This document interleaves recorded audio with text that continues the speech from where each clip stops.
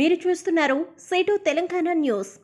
ఇక వార్తల్లోకి వెళితే సంగారెడ్డి జిల్లా గుమ్మడిదల మండలం దోమడుగు గ్రామానికి చెందిన నల్లకుంట చెరువులోకి అనేకమైన కాలుష్య జలాలను వదులుతూ చెరువును కాలుష్యంగా మారుస్తున్న బొంతపల్లి హెడ్రో యూనిట్ వన్ పరిశ్రమ ఇదే అంటూ ఆరోపణలు చేస్తున్న స్థానిక నాయకులు.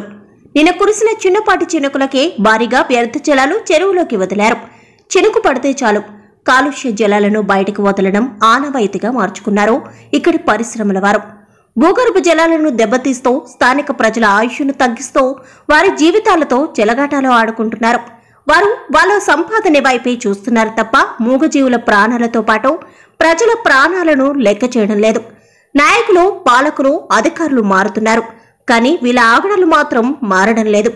ఎన్ని మార్లు సంబంధిత పీసీపీ అధికారులకు ఫిర్యాదు చేసినా తోతో మంత్రంగా శాంపిల్ తీసుకుపోవడం వారి కార్యాలయంలో మూలన పడేయడం పీసీపీ అధికారులు ఆనవాయితీగా మార్చుకున్నారు. ఎక్కడ వేసిన గొంగడి అక్కడే ఉంటుంది. పీసీపీ అధికారులకు సమాచారం ఇవ్వడం కోసం స్థానికులు ఫోన్ చేస్తే ఫోన్ ఎత్తలేని దౌర్భాగ్య పరిస్థితి.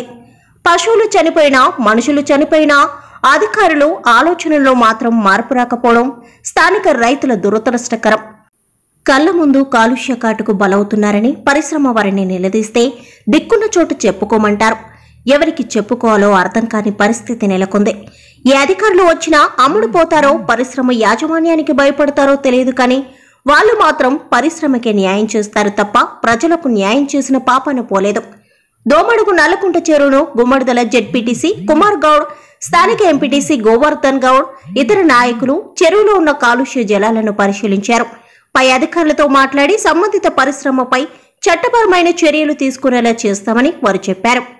అధికారులు న్యాయం చేయలేని ఎడల పరిశ్రమ ముందు బైఠాయించి స్థానిక రైతులకు న్యాయం చేసేంత వరకు న్యాయ పోరాటం చేస్తామంటూ హెచ్చరించారు. గమనించి చూడండి.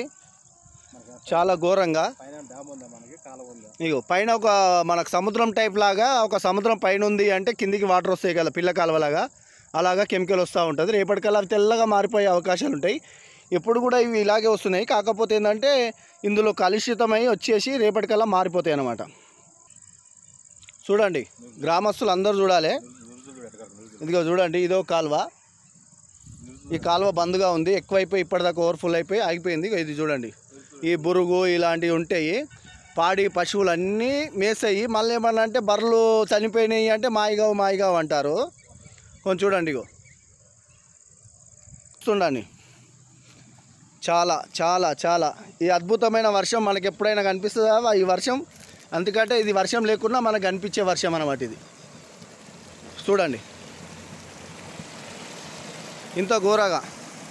చూడండి ఇవి ఎందుకంటే అది వెనుకకు సముద్రం ఉంటుంది కిందికి కాలువ అనమాట ఇది పొర్లుతుంటుంది అనమాట చూడండి ఇక చాలా మటుకు చూడండి.